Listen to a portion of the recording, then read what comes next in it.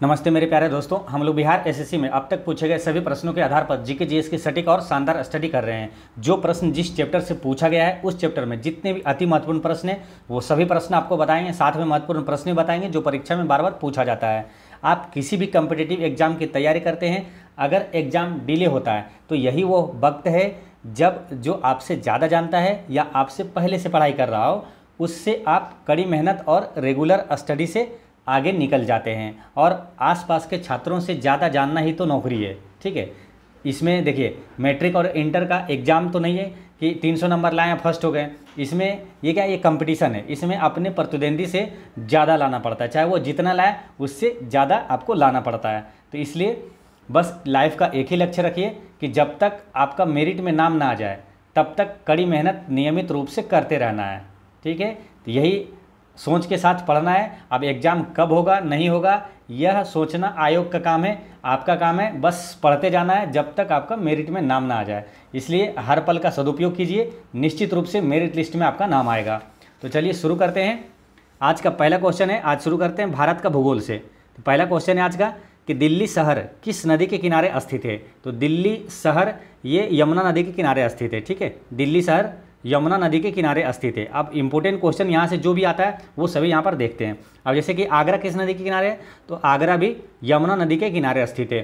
ताजमहल किस नदी के किनारे वो भी यमुना नदी के किनारे स्थित है। अब क्या है? इस टाइप के क्वेश्चन एग्ज़ाम में पूछा जाता है। तो इस टाइप के जो भी महत्वपूर्ण प्रश्न है, वो सभी यहाँ पर देख लेते हैं।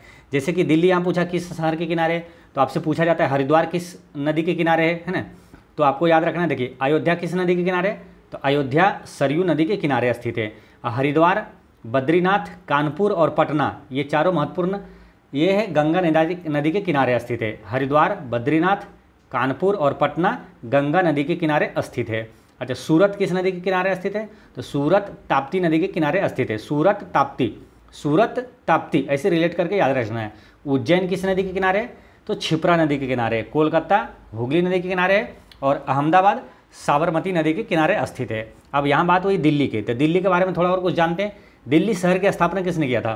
तो दिल्ली शहर की स्थापना तोमर शासक ने किया था। तोमर राजा अनंगपाल ने किया था। कभी आपको अनंगपाल ऑप्शन में दे दे, ये तो कभी दे दे तो तोमर शासक दे दे तो दोनों आपको याद रखना ठीक है? तोमर राजा अनंगपाल ने दिल्ली शहर की स्थापना किया था।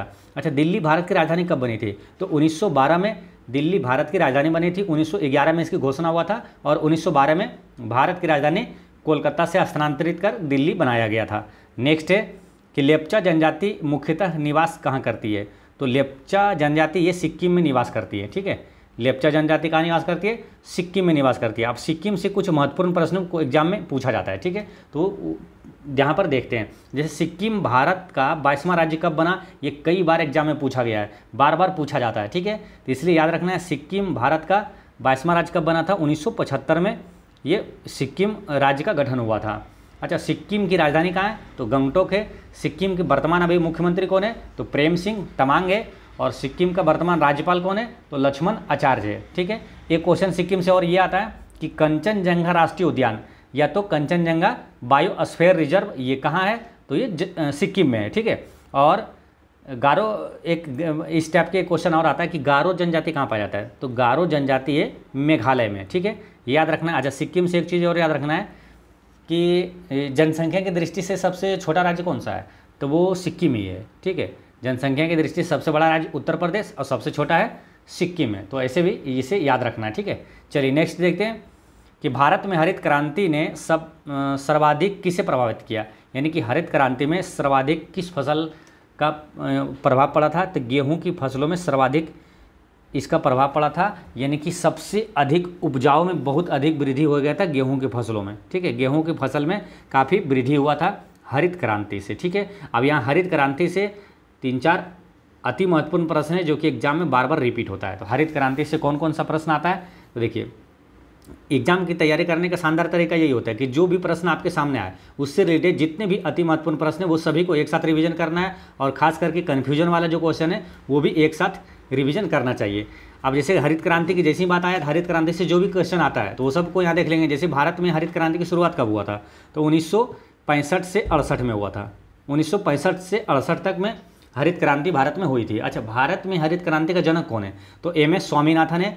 काफ़ी इंपॉर्टेंट है। कई बार एग्ज़ाम में पूछा गया है। और करंट अफेयर की दृष्टि से और ये ज़्यादा महत्वपूर्ण हो गया है, क्योंकि 2024 में इन्हें, एम एस स्वामीनाथन को भारत रत्न दिया गया है। ठीक है याद रखना है।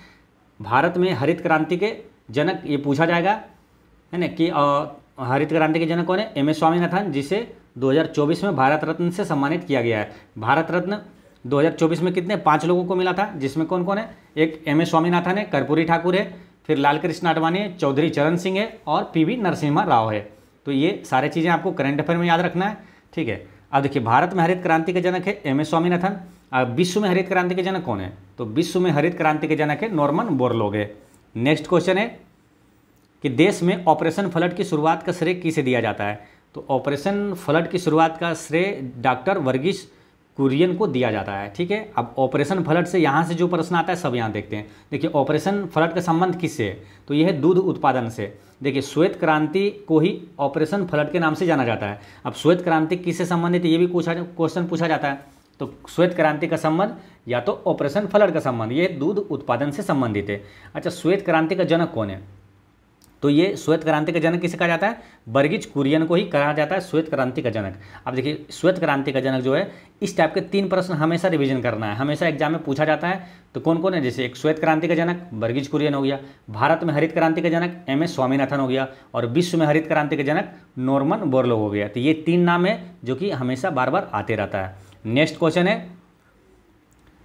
कि भारतीय मानक समय तथा ग्रीनविच माध्य समय में कितना अंतर है? तो कितने घंटे का अंतर है?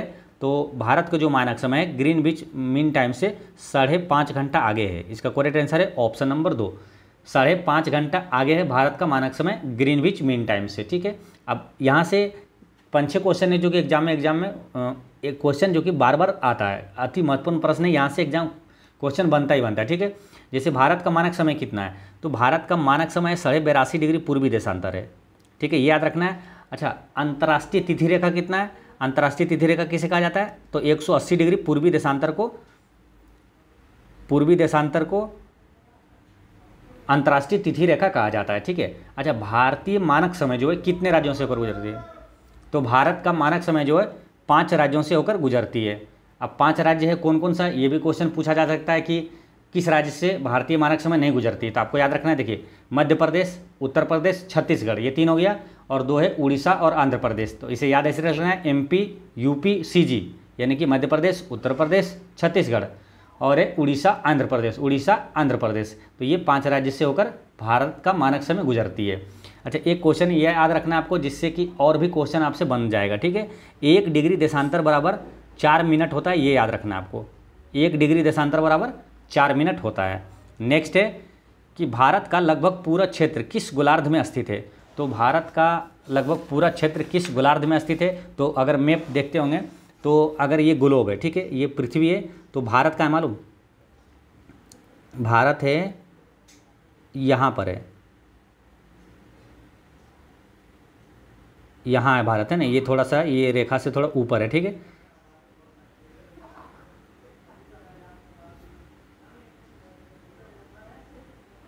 भारत ये है, यानी कि ये हो जाता है नॉर्थ ठीक है?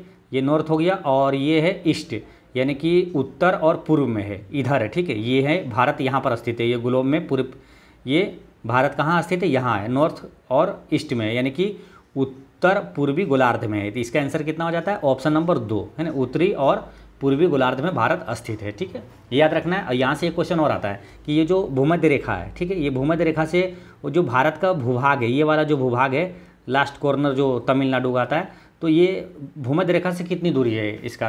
है ना क्वेश्चन ऐसे आता है कि भूमध्य रेखा और भारत की भूभाग की दूरी कितनी है? तो आठ सौ छिहत्तर किलोमीटर है, ये भी क्वेश्चन आता है तो याद रखना आपको, है ना?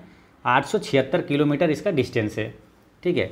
अब यहाँ पर कुछ क्वेश्चन ऐसे देखते हैं, जैसे कि पृथ्वी की सतह का कितने प्रतिशत जल से ढका है? तो पृथ्वी की सतह का कितने प्रतिशत जल से ढका है? इकहत्तर प्रतिशत जल से ढका है, ठीक है? और एक क्वेश्चन और याद रखना आपको कि पृथ्वी पर कितना प्रतिशत स्वच्छ जल उपलब्ध है? तो स्वच्छ जल कितना प्रतिशत है? तो मात्र तीन प्रतिशत स्वच्छ जल पृथ्वी पर उपलब्ध है। नेक्स्ट है, जनसंख्या घनत्व कहलाता है। तो जनसंख्या घनत्व क्या कहलाता है? कि प्रति वर्ग किलोमीटर मनुष्यों की संख्या। प्रति वर्ग, यानी कि एक किलो, वर्ग किलोमीटर पर कितना मनुष्य है, ये जनसंख्या घनत्व कहलाता है, ठीक है? तो अब कुछ क्वेश्चन यहाँ पर याद रखते हैं, जैसे कि 2011 के जनगणना के अनुसार भारत का जनसंख्या घनत्व कितना है? तो तीन है। और सबसे अधिक जनसंख्या घनत्व किस राज्य का है? तो बिहार का है। ये भी याद रखना आपको। बिहार का सबसे अधिक जनसंख्या घनत्व है। नेक्स्ट है कि कन्याकुमारी, निम्नलिखित में से कहाँ स्थित है? तो कन्याकुमारी कहाँ है? तो ये तमिलनाडु में है। ठीक है? अब कन्याकुमारी तमिलनाडु में है। इस टाइप के दो तीन क्वेश्चन और आता है। कौन सा आता है? जैसे देखिए, भारत का दक्षिणतम बिंदु कौन सा है? तो वो केप कोमोरिन है। केप कोरिन कोमोरिन कहाँ है? तो वो कन्याकुमारी में ही है, ठीक है? भारत का सबसे जो दक्षिणतम बिंदु है, केप कोमोरिन है, जो कि कन्याकुमारी में है। और एक क्वेश्चन ये आता है कि मुख्य भूमि से दूर दक्षिणतम बिंदु कौन सा? देखिए कन्फ्यूज़न वाला यहाँ क्वेश्चन है। सिंपल अगर पूछे कि भारत का दक्षिणतम बिंदु तो केप कोमोरिन है है ना? Cape Comorin. और मुख्य भूमि से दूर दक्षिणतम बिंदु कौन सा है? तो वो इंदिरा पॉइंट है। कहाँ? अंडमान निकोबार द्वीप समूह में। इंदिरा पॉइंट। और उत्तरी बिंदु कौन सा है? मुख्य भूमि से जो उत्तरी बिंदु है, उत्तरी बिंदु है इंदिरा कोल, है ना? दक्षिणतम बिंदु जो है इंदिरा पॉइंट कहलाता है। और उत्तरी बिंदु इंदिरा कोल है जो कि जम्मू कश्मीर में है। नेक्स्ट है कि केंद्रीय भवन अनुसंधान संस्थान कहाँ पर स्थित है? तो केंद्रीय भवन अनुसंधान संस्थान ये है रुड़की में। ठीक है? अब रुड़की से एक और एक और क्वेश्चन आता है। ठीक है? कौन सा? तो भारत का पहला इंजीनियरिंग कॉलेज कहाँ स्थापित किया गया था? तो आईआईटी रुड़की में ही किया गया था। तो दो क्वेश्चन रुड़की से हो गया। केंद्रीय भवन अनुसंधान संस्थान रुड़की में है। और भारत का पहला इंजीनियरिंग कॉलेज कहाँ स्थापित किया गया था? तो आईआईटी रुड़की में। आईआईटी ये रुड़की है कहाँ? तो उत्तराखंड में है। ठीक है? अच्छा यहाँ पर क्या पूछा? अनुसंधान संस्थान। ठीक है? तो अनुसंधान संस्थान से कुछ महत्वपूर्ण क्वेश्चन देख लेते हैं, जो कि एग्ज़ाम में आता है और आने की पूरी संभावना है। जैसे कि भारतीय वन अनुसंधान संस्थान कहाँ है? तो देहरादून में है। भा, भारतीय वन अनुसंधान संस्थान देहरादून में है और भारतीय पेट्रोलियम अनुसंधान संस्थान ये भी देहरादून में है। भारतीय पेट्रोलियम संस्थान और भारतीय वन अनुसंधान संस्थान ये दोनों कहाँ है? देहरादून में अच्छा भारतीय कृषि अनुसंधान संस्थान कहाँ? है तो दिल्ली में है। भारतीय कृषि अनुसंधान संस्थान दिल्ली में राष्ट्रीय डेयरी अनुसंधान संस्थान करनाल हरियाणा में है ना? हरियाणा के करनाल में जो डेयरी अनुसंधान संस्थान है और दो अति महत्वपूर्ण क्वेश्चन याद रखना है कि विक्रम साराभाई अंतरिक्ष केंद्र, ये कहाँ है? तो तिरुवनंतपुरम में है, केरल के तिरुवनंतपुरम में विक्रम साराभाई अंतरिक्ष केंद्र। और सतीश धवन अंतरिक्ष केंद्र कहाँ है? तो वह है श्रीहरिकोटा में श्रीहरिकोटा कहाँ है? तो आंध्र प्रदेश में है। नेक्स्ट है कि भारत में इस्पात का प्रथम कारखाना कहाँ स्थापित किया गया था? भारत में इस्पात का प्रथम कारखाना कहाँ स्थापित किया गया था? अति महत्वपूर्ण क्वेश्चन है जो कि एग्ज़ाम में हमेशा बार बार रिपीट होता है। ये है जमशेदपुर में। जमशेदपुर कहाँ है? झारखंड में। भारत में इस्पात का प्रथम कारखाना जमशेदपुर में स्थापित किया गया था। अब इस्पात कारखाना से संबंधित कुछ क्वेश्चन यहाँ पर देखते हैं, जो कि एग्ज़ाम में अति महत्वपूर्ण है। वो एग्ज़ाम में आता ही आता है। जैसे कि बोकारो इस्पात कारखाना किस देश के सहयोग से स्थापित हुआ था? तो ये हुआ था रूस के सहयोग से स्थापित हुआ था। एक बोकारो और एक है भिलाई। ये दोनों रूस के सहयोग से स्थापित हुआ था। एक है दुर्गापुर। दुर्गापुर ये स्थापित हुआ था किस देश के सहयोग से? तो ये ब्रिटेन के सहयोग से स्थापित हुआ था। इसे याद ऐसे रखना है, देखिए दरविड़ दरविड़ ऐसे याद रखिए दरविड़ यानी कि रिलेट कर लीजिए तो याद रहेगा। दरविड़ यानी कि दुर्गापुर ब्रिटेन के सहयोग से। अब राउरकेला जर्मनी के सहयोग से स्थापित हुआ। इसे याद रखना है, राज यानी कि राउरकेला जर्मनी के सहयोग से। अब भिलाई और बोकारो, ये रूस के सहयोग से स्थापित हुआ था। इसे याद रखना है, बीरू, है ना? बीरू या भीरू, जो वीरेंद्र सहवाग को कहते थे। बीरू या भीरू यानी कि भिलाई या तो बोकारो, ये रूस के सहयोग से स्थापित हुआ था। अच्छा दुर्गापुर, राउरकेला और भिलाई, ये तीनों इस्पात संयंत्र द्वितीय पंचवर्षीय योजना में स्थापित हुआ था, ये याद रखना है। और बोकारो इस्पात कारखाना जो है, ये तीसरी पंचवर्षीय योजना में स्थापित हुआ था। नेक्स्ट है कि उत्पादन की दृष्टि से भारत का प्रमुख खाद्यान्न फ़सल कौन सा है? तो उत्पादन की दृष्टि से भारत का प्रमुख जो खाद्यान्न है, वो है चावल। ठीक है? अगर बिहार का भी पूछे, बिहार का भी प्रमुख जो फ़सल है कौन सा है? तो वो भी है चावल है, ठीक है? अच्छा चावल का उत्पादक सबसे ज़्यादा किस देश में होता है? तो सबसे ज़्यादा चावल उत्पादक देश है चीन दूसरे नंबर पर है भारत। अच्छा भारत में सबसे ज़्यादा चावल उत्पादक राज्य कौन सा है? तो वो है पश्चिम बंगाल। देखिए, चावल सबसे ज़्यादा होता है पश्चिम बंगाल में, गेहूँ सबसे ज़्यादा उत्पादक राज्य, वो है उत्तर प्रदेश। याद रखना है अच्छा केंद्रीय चावल अनुसंधान संस्थान कहाँ है? तो कटक में है, उड़ीसा के कटक में, केंद्रीय चावल अनुसंधान संस्थान। और एक आता है क्वेश्चन कि अंतर्राष्ट्रीय चावल अनुसंधान संस्थान कहाँ है? तो वो कहाँ है? लोस बानोस में है। लोस बानोस कहाँ? फिलीपींस में ठीक है? क्वेश्चन डायरेक्ट ये भी फिलीपींस भी ऑप्शन में दे सकता है, ठीक है? अंतर्राष्ट्रीय चावल अनुसंधान संस्थान कहाँ है? तो फिलीपींस के लोस बानोस में है। अच्छा सबसे ज़्यादा उपजाऊ मिट्टी कौन सी है? तो सर्वाधिक उपजाऊ मिट्टी होती है जलोढ़ मिट्टी। नेक्स्ट है कि अपने उद्गम स्थल में गंगा नदी जानी जाती है। तो जहाँ इनका उद्गम स्थल है, वहाँ किस नाम से जाना जाता है? तो गंगा नदी को भागीरथी के नाम से जाना जाता है। भागीरथी के नाम से जाना जाता है। अब गंगा नदी से कुछ इंपॉर्टेंट क्वेश्चन है जो कि एग्ज़ाम में पूछा जाता है। जैसे कि भारत का राष्ट्रीय नदी कौन सा है? तो गंगा नदी है। भारत की सबसे लंबी नदी कौन सी है? तो गंगा नदी है। गंगा नदी की लंबाई कितनी है? 2525 किलोमीटर। इसे 25 25 याद रख लेना है, ठीक है? अच्छा गंगा नदी को बांग्लादेश में क्या कहा जाता है? तो पद्मा कहा जाता है। और ब्रह्मपुत्र नदी को बांग्लादेश में क्या कहा जाता है? तो जमुना कहा जाता है। ये ब्रह्मपुत्र वाला जो बिहार एस एस में क्वेश्चन पूछा हुआ है, ठीक है? कि ब्रह्मपुत्र नदी को बांग्लादेश में क्या कहा जाता है? तो जमुना के नाम से जाना जाता है और गंगा को पद्मा के नाम से जाना जाता है। तो राष्ट्रीय जलीय जीव कौन सा है? तो गंगा डॉल्फिन राष्ट्रीय जलीय जीव है और करंट अफेयर में क्वेश्चन याद रखना है कि एशिया का पहला डॉल्फिन अनुसंधान संस्थान कहाँ स्थापित किया गया है? तो पटना में स्थापित किया गया है। नेक्स्ट है। निम्नलिखित में से कौन सी परियोजना राउरकेला स्टील प्लांट को बिजली प्रदान करती है? कौन सी परियोजना राउरकेला स्टील प्लांट को बिजली प्रदान करती है? अब राउरकेला स्टील प्लांट है कहाँ? तो ये है उड़ीसा में, ठीक है? और इसका आंसर है बिजली प्रदान करती कौन? हीरा कुंड बाँध परियोजना। अब हीरा कुंड बाँध परियोजना कहाँ है? तो ये भी उड़ीसा में है, ठीक है? इसलिए उड़ीसा में है हीरा कुंड बाँध परियोजना। ये राउरकेला स्टील प्लांट को बिजली प्रदान करती है, ठीक है?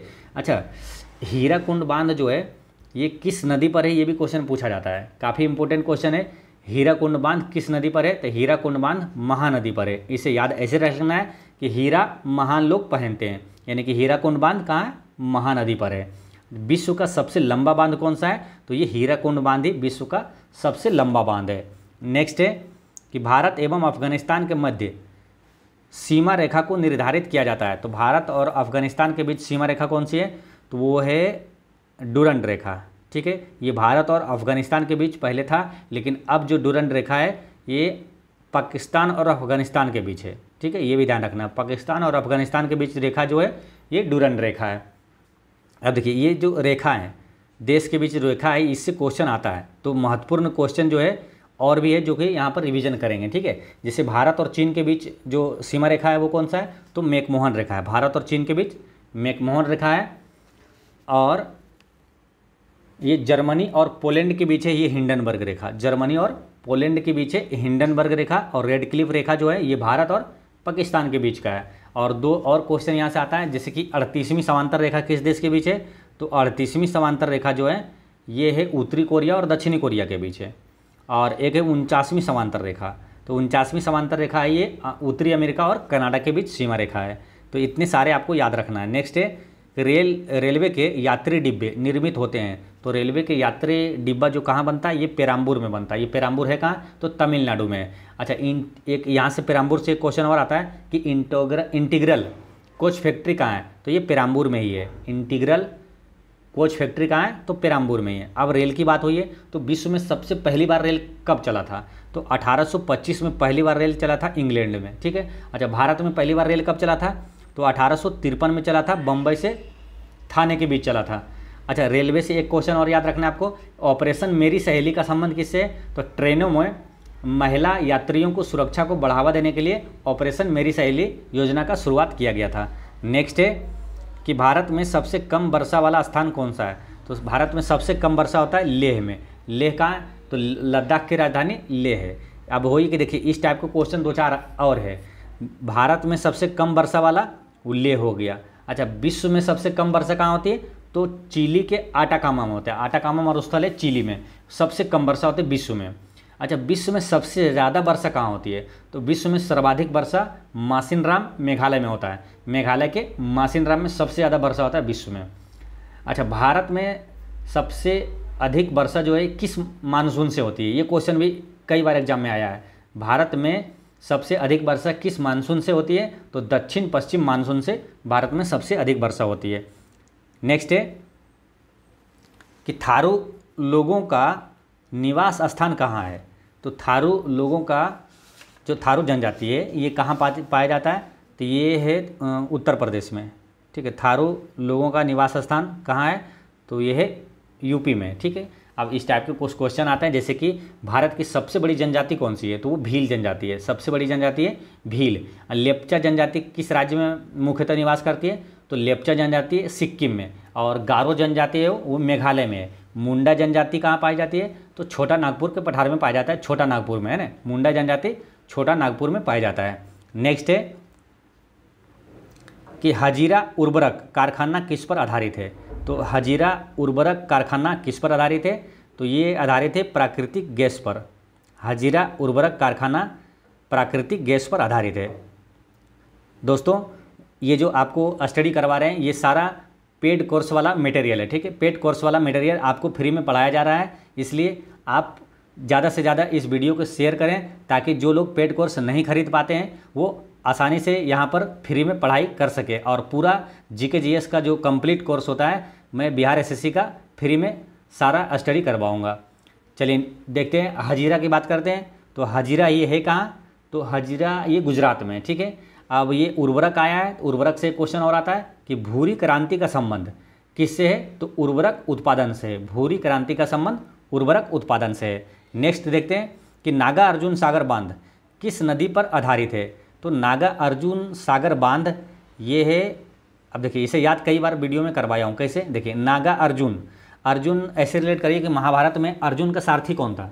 तो अर्जुन का सारथी था कृष्ण, ठीक है? तो उसे ऐसे याद रख लेना। है नागा अर्जुन सागर बाँध जब भी आए तो कृष्णा नदी पर, ठीक है? तो कभी भूलिएगा कन्फ्यूज़न भी नहीं होगा, है ना? भूलिएगा भी नहीं और कन्फ्यूज़न भी नहीं होगा। नागार्जुन, अर्जुन से रिलेट कर देना है, ये कृष्णा, कृष्ण भगवान से रिलेट कर देना है। यानी नागार्जुन बाँध कृष्णा नदी पर है ये, ठीक है? अच्छा अब बात करते हैं कि नागार्जुन सागर बाँध है कहाँ? तो मतलब किस राज्य में है? तो आंध्र प्रदेश में है। अच्छा भारत का सबसे ऊँचा बाँध कौन सा है? तो भारत का सबसे ऊँचा बाँध अगर पूछे सिंपल में तो वो है टिहरी। टिहरी बाँध है, और टिहरी बाँध है किस नदी पर? तो भागीरथी नदी पर है उत्तराखंड में है ठीक है? अच्छा एक क्वेश्चन आता है कि भा, सबसे अधिक ऊंचाई तथा सीधे ग्रेविटी वाला, दुनिया का सबसे ऊँचा बाँध कौन सा है? ग्रेविटी गुरुत्वीय वाला, जो सबसे ऊँचा बाँध कौन सा है? तो भाखड़ा बाँध है, भाखड़ा नागल बाँध है, सतलज नदी पर है, ठीक है? ये याद रखना है। सबसे ऊँचा बाँध है। दुनिया का सबसे ऊँचा बाँध हो वो भाखरा नागल बाँध है। अच्छा दुनिया का सबसे लंबा बाँध कौन सा है? तो सबसे लंबा बाँध हो जाता है हीराकुंड बाँध, जो कि उड़ीसा में है, महानदी पर।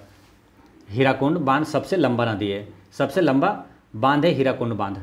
नेक्स्ट क्वेश्चन है कि राष्ट्रीय ग्रामीण विकास संस्थान कहाँ स्थित है? तो राष्ट्रीय ग्रामीण विकास संस्थान ये स्थित है आपका हैदराबाद में। राष्ट्रीय ग्रामीण विकास संस्थान है? हैदराबाद में, ठीक है? अब हैदराबाद से एक और क्वेश्चन आता है कि जो डीएनए फिंगर प्रिंटिंग संस्थान है, वो कहाँ स्थित है? तो हैदराबाद में ही स्थित है। चार मीनार कहाँ है? तो हैदराबाद में है देखिए, एक है चार मीनार। कन्फ्यूज़न वाला एक क्वेश्चन आता है कि झूलता मीनार। झूलता मीनार है वो अहमदाबाद में और चार मीनार जो है, वो हैदराबाद में, ठीक है? और तेलंगाना की राजधानी कहाँ है? तो वो हैदराबाद है। नेक्स्ट है कि भारत किस खनिज के उत्पादन में आत्मनिर्भर है? तो भारत जो है किस खनिज के उत्पादन में आत्मनिर्भर है तो ग्रेफाइट के उत्पादन में आत्मनिर्भर है, ठीक है? और काला शीशा किसे कहा जाता है? तो ग्रेफाइट को ही काला शीशा कहा जाता है। अच्छा ग्रेफाइट किसका अप्रूप है? तो ग्रेफाइट, हीरा, ये सब किसका कार्बन का अप्रूप है। अब ग्रेफाइट से एक अति महत्वपूर्ण प्रश्न ये आता है कि कौन सा एकमात्र अधातु है जो कि विद्युत का सुचालक है? तो ये अधातु है, देखिए, अधातु क्या होता है? विद्युत का कुचालक होता है। लेकिन ये ऐसा अधातु है, अधातु जो कि विद्युत का सुचालक है ग्रेफाइट नेक्स्ट है, कोलार स्वर्ण खादान है, किस राज्य में है? तो कोलार जो सोने की खदान है, ये किस राज्य में है? तो ये है कर्नाटक में. कोलार जो सोने की खान है, ये कहाँ है? कर्नाटक में, ठीक है? और भारत का सबसे बड़ा स्वर्ण उत्पादक राज्य कौन सा है? तो वो कर्नाटक ही है, ठीक है? याद रखना है, और बिहार के किस जिला में सबसे अधिक सोने का भंडार है? तो जमुई में है, ठीक है? बिहार के किस जिला में सर्वाधिक सोने का भंडार मिला है? ये क्वेश्चन बिहार का टीचर जो एग्ज़ाम हुआ है, इसमें पूछा हुआ है तो इसलिए आपको याद रखना है, बिहार के सबसे अधिक जो सोने का भंडार किस ज़िले में मिला है? तो जमुई में है, ठीक है? अब जमुई से जो जो लोग होंगे, वो कमेंट में ज़रूर बताइएगा कि हम जमुई से हैं, ठीक है? और एक क्वेश्चन ये आता है इसी टाइप का कि पन्ना जिला पन्ना जिला जो किसके उत्पादन के लिए प्रसिद्ध है? जैसे अभी यहाँ यानी कि कोलार खाने किसके लिए प्रसिद्ध है? तो इसलिए पन्ना जिला वाला एक क्वेश्चन पूछा जाता है तो आप सुने होंगे हीरा पन्ना ज्वेलर्स। तो हीरा के उत्पादन के लिए प्रसिद्ध है और हीरा का उत्पादन एकमात्र राज्य है मध्य प्रदेश के पन्ना में ही हीरा का उत्पादन होता है, ठीक है? तो पन्ना हीरा के लिए फ़ेमस है। नेक्स्ट है, भारत में कौन सा विनिर्माण उद्योग सर्वाधिक रोज़गार उत्पन्न करता है? तो सर्वाधिक रोज़गार किसमें मिलता है? तो कपड़ा उद्योग में मिलता है ना, इसका करेक्ट आंसर है, सूती वस्त्र उद्योग में सर्वाधिक लोग काम करते हैं, ठीक है? और भारत का सबसे बड़ा उद्योग पूछे सिंपल में तो वो भी वस्त्र उद्योग ही है। भारत का सबसे बड़ा उद्योग कौन सा है? तो वस्त्र उद्योग है। नेक्स्ट है कि बोकारो इस्पात कारखाने में किस विदेशी देश का सहयोग प्राप्त हुआ यानी कि सिंपल है कि बोकारो इस्पात जो कारखाना है, किसके सहयोग से स्थापित हुआ था? तो आपको याद रख लेना है, बीरू, है ना? बीरू और भीरू। तो यानी कि बोकारो और भिलाई इस्पात संयंत्र, ये दोनों रूस के सहयोग से स्थापित हुआ था। रूस यानी कि यहाँ पर आंसर क्या है? पूर्व सोवियत संघ, है ना? इसका करेक्ट आंसर है पूर्व सोवियत संघ इसे रूस इसे ही कहा जाता है, ठीक है? तो ये याद रखना है। और दुर्गापुर, ये ब्रिटेन के सहयोग से, भिलाई, रूस के सहयोग से राउरकेला जर्मनी के सहयोग से स्थापित हुआ था। अच्छा भारत में पहला स्टील प्लांट कहाँ स्थापित किया गया था? तो जमशेदपुर में स्थापित किया गया था। नेक्स्ट है कि गंगा के दक्षिण भाग में पुरानी जलोढ़ मिट्टी को किस नाम से पुकारते हैं? तो गंगा के दक्षिण भाग में पुरानी जलोढ़ मिट्टी को किस नाम से पुकारा जाता है? तो करेल कैवाल मिट्टी के नाम से जाना जाता है, ठीक है? अब मिट्टी से जितने भी महत्वपूर्ण प्रश्न हैं, जो कि एग्ज़ाम में आता है, सब यहाँ पर देखते हैं। मिट्टी से कौन कौन सा क्वेश्चन पूछा जाता है?